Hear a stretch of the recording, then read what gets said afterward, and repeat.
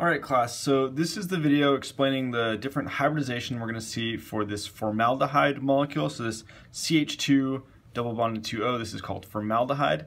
And we're going to be talking about the bonding picture, the hybridization, and the electron configurations, all that sort of fun stuff. Um, to help us, I've also made this little model of this formaldehyde molecule. So here we've got our carbons with our two hydrogens, and then we've got a double bond, so we can see a double bond there between carbon and oxygen, and then these two um, little spacer things, those are going to represent our lone pairs of electrons. So this model will sort of guide us as we're as we're looking at this at this picture. So let's go ahead and get started. The first thing we want to do is sort of look at the hybridization around these two different um, carbon and oxygen. So this carbon will have an sp2 hybridization, and this oxygen, this oxygen is also going to have an sp2 hybridization.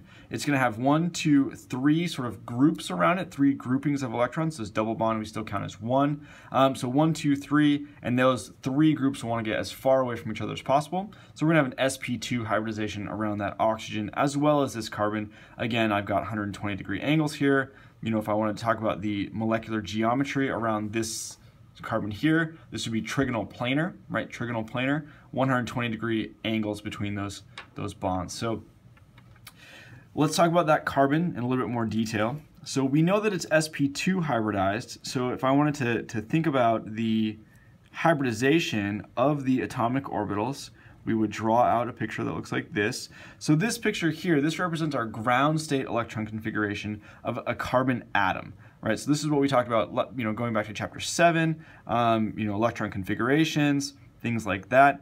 We're gonna do an sp2 hybridization, so sp2 hybridization.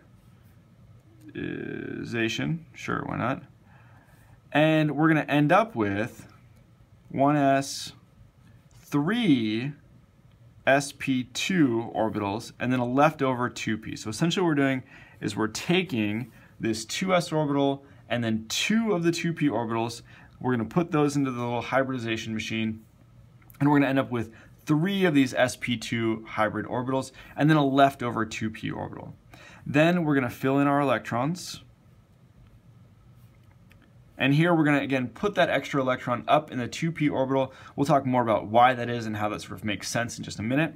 But this is sort of the, the first picture that we're, we're going to want to look at.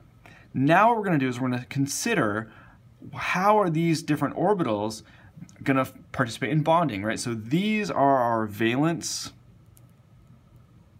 orbitals that contain our valence electrons. So these four electrons are our valence electrons for carbon. Carbon brings four valence electrons to the party, and we need to deal with those four electrons to show, you know, how this bonding works in our bonding picture.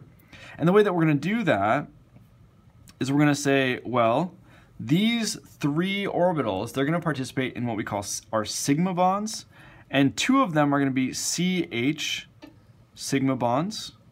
So in my model here, or really even on this picture here, these two bonds here and here, carbon to hydrogen, those are going to be a sharing of electrons, right?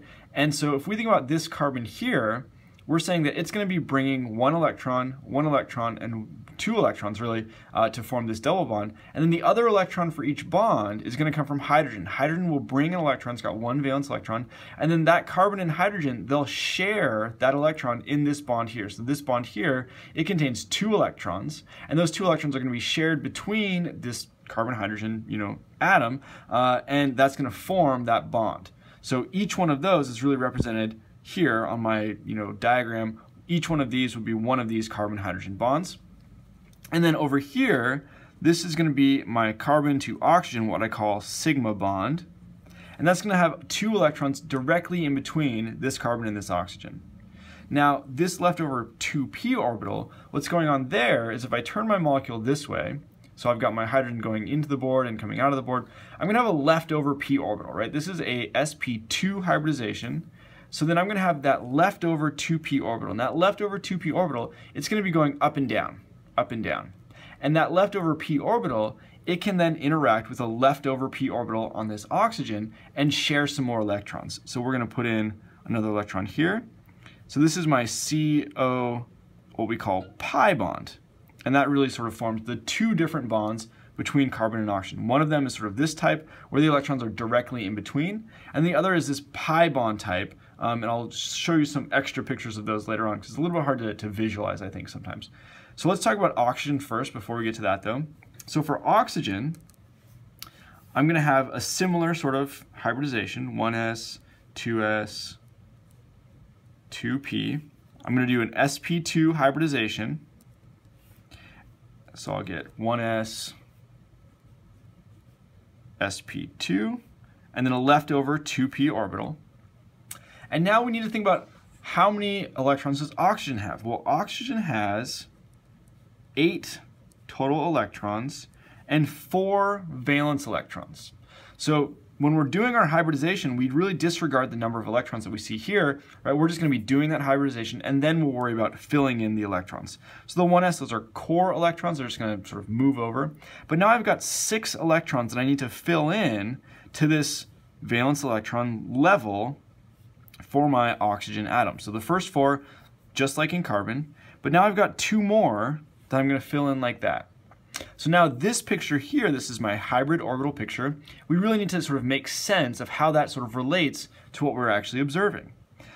These two orbitals here, those are my sp2 hybridized orbitals, and they are already filled with lone pair electrons. So what these represent are our lone pairs on oxygen.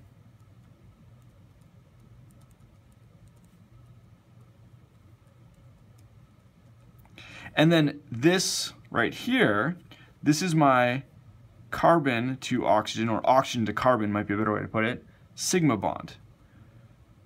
So this right here, right, this is sort of the opposite view of this same bond over here. There's going to be a sigma bond. So in this case, this dashed arrow, this dashed electron, is really this full electron from carbon, right? They're sharing those two electrons. So in total here, right, those are one sigma bond between carbon and oxygen. And then up here, we're gonna have the same thing. This will be, let's write an oxygen carbon pi bond. But this is really the same idea as we have here, the same picture, the same sharing of those electrons. So that will represent this pi bond that we see between carbon and oxygen. So let's look at some more maybe um, nicer looking pictures. So this picture here is going to really show us sort of our different orbitals. So let's start with this carbon here. In green, I've got my sp2 hybridized system. This one's coming out towards us, right? So then this would be like this. So this is coming out towards us. And then we've got another one going into the board away from us. That's our sp2 level. And then I'm forming a, a sp2 hybridized sigma bond, right? That's going between carbon and oxygen. And then for oxygen, I've got my sp2 hybridized lone pairs. So this lone pair here, lone pair here. Again, those are going to be arranged 120 degrees apart. And then above and below, that's where my pi bond is going to be. So this pi bond, if I wanted to sort of redraw this between carbon and oxygen, so what these would represent would be our leftover 2p orbitals, and then we're going to have some overlap above and below. So that's what we're, we're seeing here in this, this pi picture. Um, so these, you know, leftover p orbitals above and below, and then we're going to see electron density sort of above and below, um, that's going to be our pi bond. And in total, there'll be two electrons moving in this space. So there'll be sort of one, two electrons. And then in the middle, we're going to also have two electrons. So I sort of like to write two electrons there, one electron above and below. So in total, there's four electrons in between this carbon and oxygen. And four electrons means there's going to be two bonds between carbon and oxygen. So hopefully this picture um, starting to, to make sense a little bit more for all of the different ways that we're going to be thinking about hybridization and bonding. I know it looks really confusing, but um, hopefully you can sort of work your way through it. We can extend this to triple bonds, um, and probably on the next video I will uh, talk about triple bonds and, and try to look at some pictures of that. All right, hope that helps.